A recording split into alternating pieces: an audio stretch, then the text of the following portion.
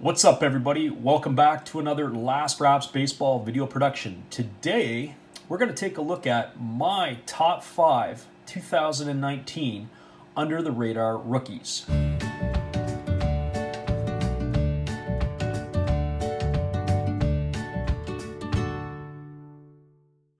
We'll kick it off with number five on my list. And number five is Will Smith of the Los Angeles Dodgers. And uh, Will was a 24 uh, backstop for the Dodgers last year. He was a first round pick, 32nd overall uh, out of the University of Louisville in 2016 Major League Draft.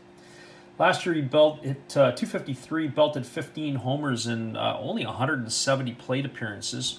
You can see here's the back of his card for 2019 and said Will needed less than three years to dash his way from the University of Louisville to Los Angeles.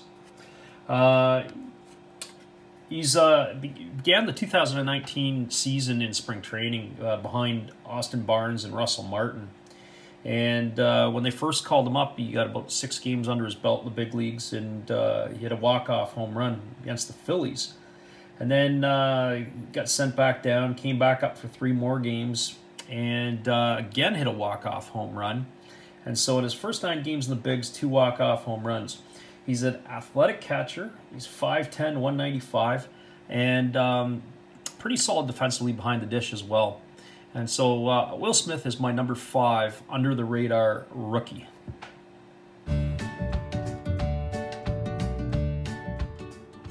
My number four under the radar rookie goes to Cleveland Indians center fielder Oscar Mercado.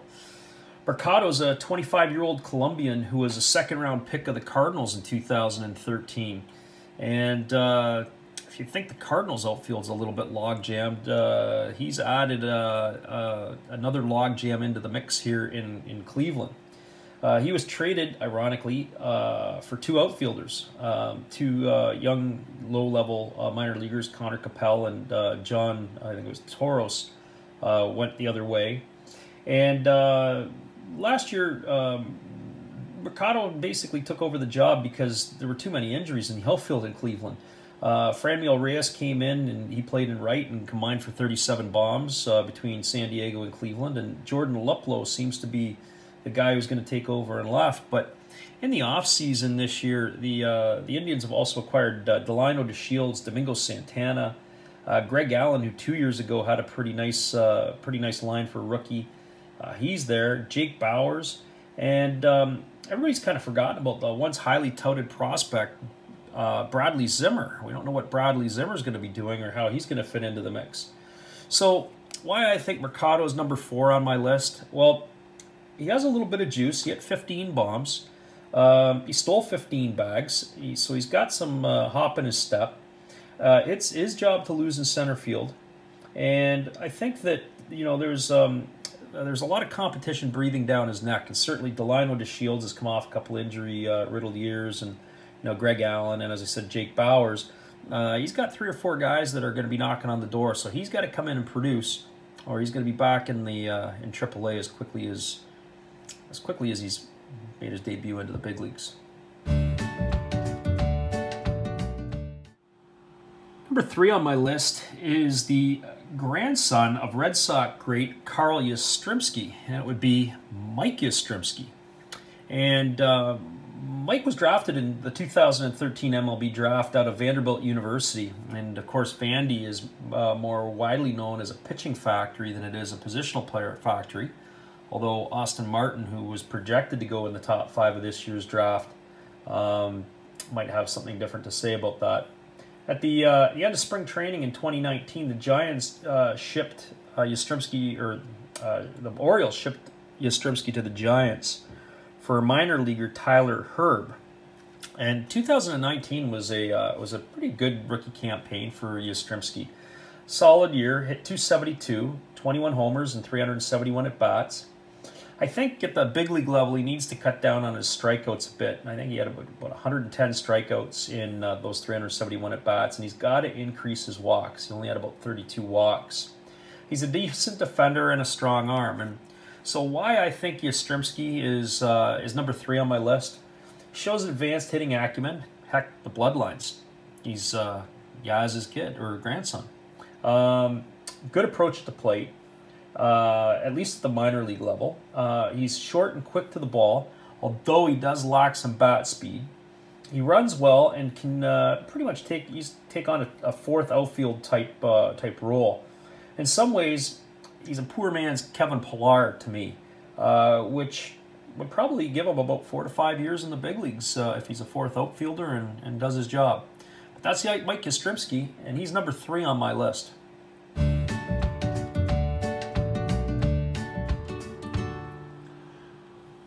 Number two on my list is San Diego Padre right-hander Chris Paddack. Paddack was a eighth round uh, selection in the 2015 Major League Draft out of high school by the Miami Marlins. In 2016, uh, the Marlins sent him packing uh, to the Padres straight up for Fernando Rodney. Uh, to me, that's a steal. What were the Marlins thinking? Uh, well, General Manager Mike Berger uh, was quoted as saying, by acquiring Fernando Rodney, it strengthened our strength we have a very strong bullpen to begin with at the time, and in, in the end, we got a little bit better and better. Well, unfortunately, Fernando Rodney was 2 and 3 with a 5.89 ERA after the trade the rest of the way, walking 25 batters in 36 and two thirds innings.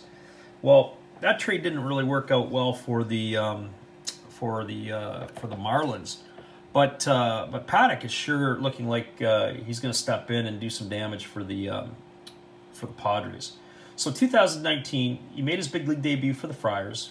He won nine and lost seven, and he posted an ERA of uh, 333. And the thing about Paddack is, is he's got great control. He walked two batters in nine innings. Uh, and what also was impressive to me is he struck out 153 batters in 140 and two thirds innings. So he's got some uh, he's got some jump. So I guess why why was he number two pick? Well, he's a Tommy John survivor in 2017, and he's just starting to get rolling. Uh, control has always been his strength. He sits about 91 to 94 with the fastball, uh, and he's got swing and miss stuff. There's a lot of late life on his heater. He commands all four uh, quadrants of the zone, and his changeup is um, his changeup is really, really good because he sells it with similar arm speed to uh, to, to his fastball.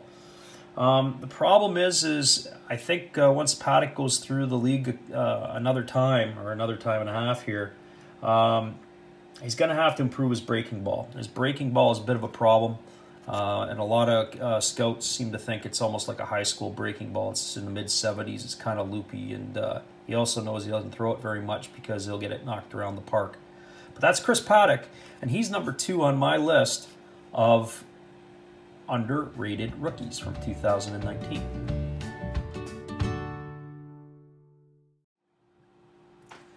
My number one under the radar rookie from 2019 is Dakota Hudson of the St. Louis Cardinals. Hudson uh, six foot five, 215 pound right hander, was drafted out of Mississippi State University in the 2016 Major League Draft, 34th overall by the Cards. And um, during the 2018 season, uh, he actually made his Major League debut with the Cardinals, and he appeared in about 20 uh, some odd um, games out of the bullpen. And uh, he was 4 and 1 with a 2.63 ERA. But the biggest concern that the Cards have with Hudson is his ability to control his pitches, as he was walking nearly six batters per nine innings. 2019, Hudson moved to the starting rotation, and uh, as he came to the starting rotation, uh, he was able to, to do a few things. He was 16 and 7 with a 3.33 ERA or 3.35 ERA. Um, his walks were still an issue as he led the league with 86 free passes and 174 and two thirds innings, but he was able to cut the walks to nine inning ratio down to 4.4, and that showed a huge improvement. So why do I think that Dakota Hudson is the number one um, uh, under the radar rookie? Well, some of it has to do with his tools. He's got good sink on his fastball. He throws 96, 97 miles an hour. Uh, his secondaries are average, but he does flash uh, a plus side. His slider, his curve um, look like they could be okay. Um, he has to tighten up the command on his changeup.